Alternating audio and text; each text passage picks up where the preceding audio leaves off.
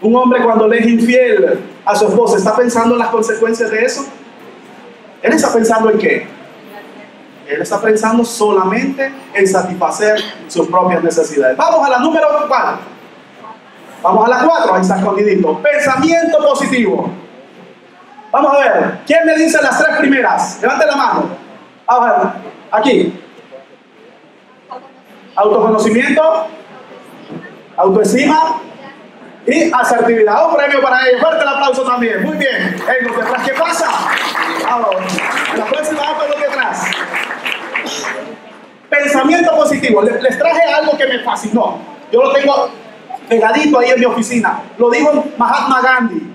Mire qué interesante lo que este gran pensador dijo. Cuida tus pensamientos. ¿Por qué? Porque se volverán qué? Palabras. Tus pensamientos generan palabras. Tus pensamientos generan tu conducta, lo que tú crees. Cuida tus palabras porque se volverán qué? Actos. Cuida tus actos porque se volverán hábitos. Cuida tus hábitos, ¿por qué? Forjarán tu carácter. Hábitos. Y estamos llenos de hábitos, lastimosamente no positivos. Somos personas de hábitos. Y yo le invito a que a partir de esta noche usted pueda generar un nuevo hábito, practicando estas siete reglas, estos siete pilares en su hogar. Y crea lo que van a ser felices. Dice que cuando yo cuido el carácter, eso forma mi qué? Mi destino. Y cuando yo cuido mi destino, eso forma mi propia vida. Mi felicidad, mi dicha, mi gozo. Que yo pueda disfrutar, hombre. Hablaba con un profesor, la vida es corta. Realmente es corta. ¿Por qué no la complicamos tanto? ¿Por qué no la complicamos tanto? Si la vida son relaciones personales. Pensamiento positivo, ¿cómo lo genero? Mires, eso viene desde la infancia, en la casa, diciéndole al hijo que sí puede lograr, que, él puede esforzarse y llegar a ser un gran hombre, que no, la realidad suya no necesariamente va a ser su realidad, pero no, los ricos ya están hechos. No, mijo, aquí no se puede, en Honduras no se puede. Te voy a dar educación para que te vayas a otro lado. Compañeros, ¿se puede en Honduras? ¿Pensamiento positivo? Sí. No veo mucha, mucha convicción en esa palabra. ¿Se puede en Honduras? Sí. Sí se puede. Claro que sí se puede. Honduras es un gran país y hay trabajo a morir. Hay tantas cosas que podemos hacer. ¿Saben por qué no lo vemos? ¿Saben por qué las oportunidades pueden estar frente a mí y yo no las tomo? Vamos a ver, premio, premio. Es porque trabaja el racional. Negativos. Pensamiento racional. Pensamiento racional. No miramos después de la nariz. No miramos más allá de la nariz. De confianza. No hay confianza. Pesimismo. Perdón, aquí. ¿Ah?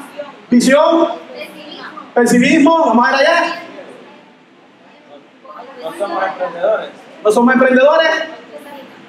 Disculpe, no, no escucho. Autoestima. Mucho de lo que ustedes dicen. Pero ¿saben qué? Porque no estamos preparados. No estamos preparados. Usted va a estar viendo los correos caer en su empresa. Necesitamos tal puesto. Necesitamos tal puesto. Y usted va a ver los requisitos. No, no los cumple. Y solo lo va a ver pasar uno tras otro. Uno tras otro. ¿Saben? Queremos los puestos. Pero no cómo llegar a esos puestos. La gente admira al que ganó la medalla de plata o de oro, pero no le gusta el proceso para llegar a, ese- a- ganar esa, esa medalla. Eso no, el sacrificio. ¿Ok? Conocimiento formal, que es la escuela, el instituto, experiencias de vida, lo que la vida nos enseña a prueba y error, a equivocarnos y levantarnos y seguir adelante, y el poder del pensamiento creativo. Entonces, ayudemos a nuestros hijos a desarrollar esto. Miren, ahora más que nunca pagan millones por generar ideas. Millones. Millones. Hoy las personas se hacen millonarias con videos en YouTube, videos creativos. Todos esos que usted transmite, que está compartiendo, alguien está ganando dinero. Cada video, cada imagen que usted gana, esa persona creativa está generando dinero. En la revuelta de, del siempre, créalo que muchos hicieron ricos, ¿no? Compartíamos a granel. ¿Ok? Pilar número 5, automotivación. automotivación. Compañeros, la vida nos da limones. ¿Qué hay que hacer? Limonada. Ya lo, ya se lo sabe. La vida, usted se va a esforzar y muy rara vez alguien le va a decir que bien lo hiciste. Que te felicito. Usted se desveló tres días haciendo un informe y solo esto hizo. Mire, felicítese. ¿Saben qué, cuál es, cuál es mi, mi secreto para automotivarme? ¿Quieren que lo comparta? Bueno, eso era antes, hoy ya no puedo. Cuando repartía todo, mis gastos y todo lo que tenía que hacer, al menos una granita me tomaba. Si no me quedaba guardados los 38 lempiritas para tomarme una granita, pero me encanta. Ese era mi premio. Ese era mi premio, ¿por qué? Por el trabajo, aunque sea algo. Premia a sus hijos por su esfuerzo y su dedicación. Mire, motivar significa que contagiar. Contagiar. Entusiasmo, coraje. Que nuestros hijos vean que sus padres no se rinden fácilmente. Que nuestros hijos vean que sus padres quieren luchar y salir adelante y sacar adelante su hogar. Que si hay conflicto se comunica. Que si hay problemas habla y se resuelve. Y ven a papá y a mamá felices juntos, besándose abrazándose, que los hijos vean todo eso, que usted llega cansado de la casa y en vez de ir a ver el HPM o cómo quedó el Barcelona o Real Madrid, se reúne con sus hijos a dialogar con ellos, a jugar con ellos. No solo, ah, mijo, ¿cómo te fue? Mire, en la misma encuesta que le comenté la vez pasada, ¿por qué es tan poderosa la automotivación? Le preguntan a la gente, ¿usted es feliz en la vida? ¿Saben? El 87% de la gente dijo que sí. Y una de las cosas para ser felices es el trabajo, ¿cierto o no es cierto?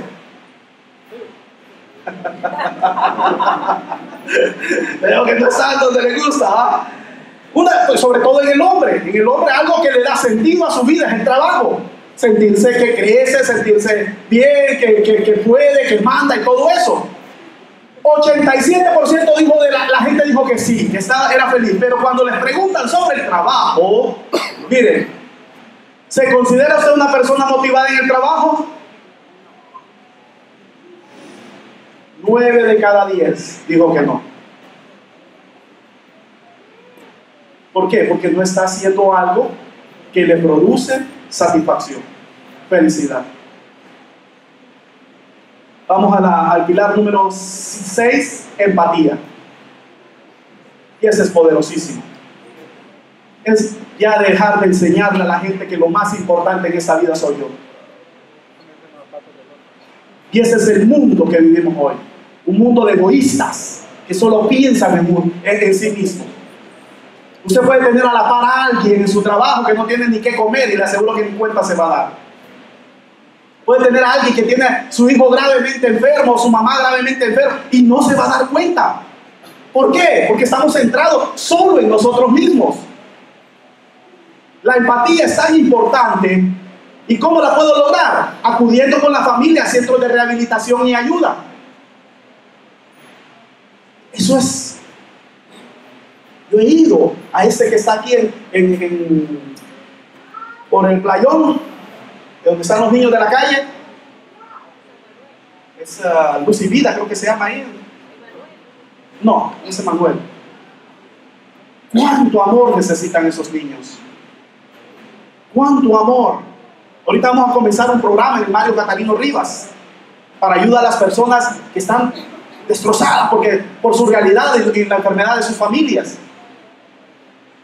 ¿Qué otra cosa podemos? Yo ahí yendo, ahí llevo a mis hijos para que ellas aprendan también. Fomenten las labores del hogar en equipo. Que también los hijos desde pequeños enseñarles a qué? A que hay responsabilidades. Pobre, hay, hay damas que todo lo hacen ellas. Todo, hasta, la- hasta, el, hasta el plato donde come el esposo, ella lo levanta. Los acostumbró a eso y pasa fundida. La pobre ni, enferma deja de trabajar. Ah, ¿verdad que sí? Ah, estoy viendo una que. Ay, mami, estoy cansado. ¿Qué otra cosa? Ayúdela a destinar parte de sus ingresos. Ya aquí sí, ya. No, mami, ahí ya. Eso ya no. Esa ya sí. ¿Por qué? Porque no nos centra solo en nosotros. parte de sus ingresos en la ayuda mutua, en ayudar a otros que necesitan. Platicaba con una, una dama en una ocasión y él, ¿sabe? Me dijo, si es que pobres siempre van a ver. Wow. O sea, solo existe ella nomás. Ayudemos a los demás. Hay tanta necesidad en este país. Hagamos labor social. Inculquémosle a nuestros hijos a hacerlo. ¿Saben? Van a crecer personas, hombres, mujeres fantásticas. Fantásticas. Uno, uno se encuentra jóvenes. eh, eh, ahorita un diplomado que dimos de emprendedurismo. Una muchacha va a poner una empresa, una muchacha de 19 años, va a poner una empresa para ayudar a los alcohólicos de la calle. Increíble, con 19 años y desarrollamos el modelo de negocio y después ella me lo presentó y wow, qué altruismo la de esta niña, 19 años, pero usted le ve los ojos y hay una convicción en ella impresionante. Yo sé que lo va a hacer, lo va a lograr. Y varias personas le dijeron ahí mismo, hey, cuente con nosotros. Eso nos ayuda a quitarnos el foco de nosotros, es, es quitar el espejo del cuarto si usted tiene un espejo en la ventana, es quitar ese espejo y ver lo que hay más allá. Porque en este mundo no solo soy yo. Y hombre, puede ser su fa- familia, puede ser sus hermanos y hasta la suegra. Habilidad número 7. Habilidades sociales. Esa es sí o sí. Para ello tenemos que involucrarnos en todo lo que nuestros hijos hacen. ¿Cómo con el tiempo, compañeros? 8 y 5, minutos más. Ok, excelente. Involúcrese en la vida de sus hijos. ¿Cómo? ¿Qué podemos hacer? Los padres deben de hacer qué? Participar con ellos en los deportes. Ahorita, en el Día del Padre, usted tiene que estar aquí. Tiene que estar aquí porque para su hijo es vital eso, ver a papá. Es una alegría inmensurable. Yo tengo dos niñas en dos escuelas diferentes y me tengo que partir, salir de una a las 10 y caer a la otra. Y las dos están emocionadísimas. Me voy a perder algunas cosas que ellas van a hacer. No puedo. Este, Una de ellas está en Fundación Motiva y solo permiten un niño. Entonces la otra la tengo que tener en otro lado. ¿Sí? Pero yo voy a estar ahí. Y para ellas eso es una felicidad. Hagamos un espacio. Si hay tiempo. Si se puede. Organice reuniones con sus amigos en la casa. Si a usted no le gusta que vayan, hágalo en casa. Conoce a los amigos de sus hijos, quienes están influenciando sobre su vida. Conózcalos, platique con ellos. Fomente juegos de mesa. Ese tiempo yo les invito, yo les invito, padres de familia, y usted, usted se va a acordar de mí el día que lo haga. El domingo a partir de las 3 de la tarde, si usted tiene tiempo, de las 3 en adelante, enciérrese con su familia. Enciérrese con ellos, aíslense de todo. Boten esos celulares, póngalos a un lado los celulares. Cero celular en el cuarto. Jueguen, platiquen, vean una película.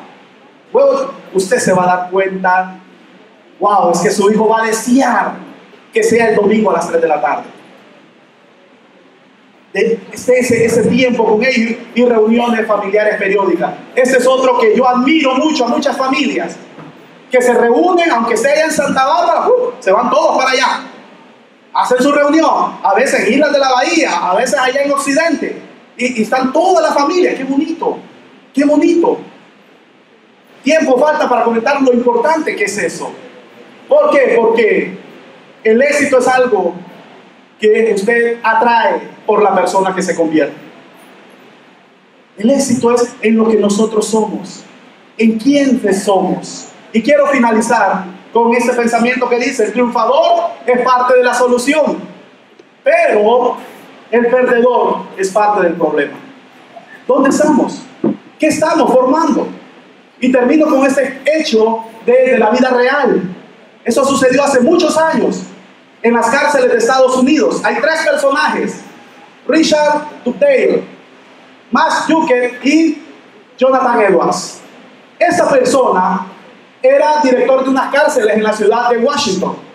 Y a él le dejaron la tarea de, de hacer un censo en todas las cárceles de ese estado.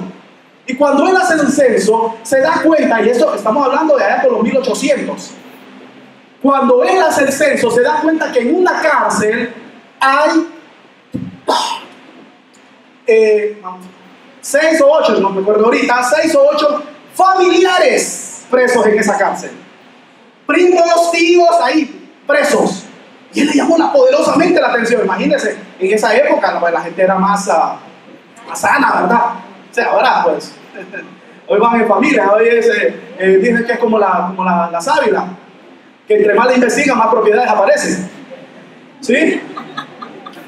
Richard Dulday saca, saca y ve que hay seis, digamos que son seis, seis familiares en una cárcel. Y cuando presenta el informe, va a investigar, va a preguntar qué pasó con esa familia. Y hace un estudio genealógico. Un estudio y se va hasta Mayuques 1720. Vamos a ver Mayuques. Mayuques 1720. Él era padre de familia de cuánto? De seis hijas y dos hijos. Esas seis familias que estaban presas. Él fue a investigar qué era, por qué estaban presas esas seis personas. Y empezó a rastrear y logró estudiar a, ya, ya a ver la cantidad, con más de 700 des- descendientes de Mayuque. Mayuque, mire cómo era. Era un hombre alcohólico. Empezando por ahí. Era un hombre alcohólico, era un hombre promiscuo, desobligado. No era responsable en su casa. Tres características de Mayuque. Mujeriego, alcohólico y desobligado. Vaya, picha. Cuando ese, ese hombre estudia la vida de Mayuque, estudia 709 de sus descendientes. Miren el árbol genealógico de este hombre. Por eso, en 1870 habían seis miembros de una familia presos. Primero, 180 indigentes, el 25% de todos los estudiados. 140 criminales, el 20%. 60 ladrones comunes, el 8,5%. Y 50 prostitutas, el 7%. Esa era la descendencia de un hombre alcohólico, desobligado y promiscuo. Por eso había más de seis miembros de una familia presa en una misma cárcel. Cuando ese hombre re- saca la luz ese estudio, wow, fue un boom en Estados Unidos. Usted lo puede buscar, lo puede, encontrar. De hecho, encuentra la, la foto de Jonathan Edwards, ya lo vamos a ver. Cuando él presenta eso, viene alguien y se hace esa pregunta. Ok, si esta es la descendencia de un alcohólico, si esta es la descendencia de un promiscuo, si esta es la descendencia de una persona desobligada, ¿cómo será de alguien totalmente lo contrario? Y viene esa persona, que no se dice cómo se llama, y estudia la vida de Jonathan Edwards, 1703. Agarra a ese hombre, véalo en Wikipedia, ahí aparece. Ese hombre era padre de ocho hijas y tres hijos. Ese hombre, ¿cómo era? Era un pastor, era un hombre teólogo, estudioso, y era presidente de la Universidad de Princeton. Era una persona preparada. Era un hombre amante de familia. Era un buen padre de familia. ¿Quieren saber la descendencia de Jonathan Edwards?